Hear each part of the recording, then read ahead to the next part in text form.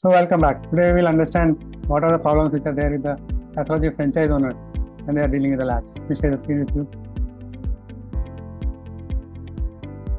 And what are the issues with the pathology franchise owners?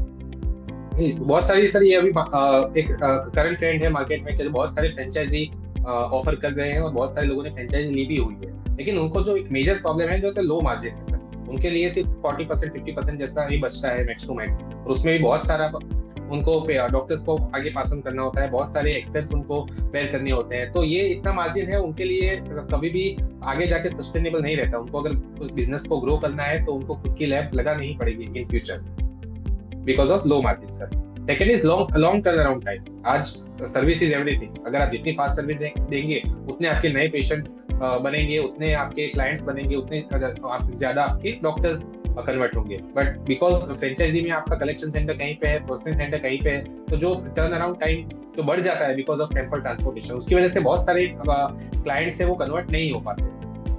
Third problem is no long term brand creation आज आप किसी की brand से business कर रहे हैं, आगे जाके वो ब्रांड अपनी लैब भी लगा सकते हैं। ऐसा कोई अग्रीमेंट में कोई क्लियर मेंशन नहीं है वो एक या दो साल के बाद खुद की लेबोरेटरी भी वहाँ पे लगा सकते हैं। तो आपने जो मेहनत की है इतने सालों तक, उसका आपको रिज़ल्ट नहीं मिल पाता है अगर आप एक दूसरी ब्रांड के साथ जाते हैं। उससे अच्छा है कि आप खुद की ही ब्रांड क्रिएट करें। और फोर्थ इज़ नो क्लियरिटी और गाइडेंस ओवर स्टेचुटरी रिक्वायरमेंट आप अगर एक लैब खोलनी भी है फ्रेंचाइजी ओनर्स को तो कभी उनके फ्रेंचाइजी वाले कभी उनको गाइडेंस नहीं देंगे और मार्केट में भी इतनी ऑथेंटिक डिटेल इन्फॉर्मेशन उनको अवेलेबल नहीं है कौन कौन से लाइसेंस चाहिए, कैसे बिज़नेस आप स्टार्ट कर पाएँगे।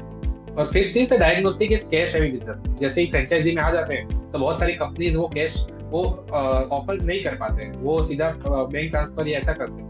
तो वो भी एक बहुत बड़ा बॉटलनेक बन जाता है आपको डॉक्टर्स या क्लाइंट्स को कन्वर्ट करने के लिए। So if you are having a franchise I that you have your own lab.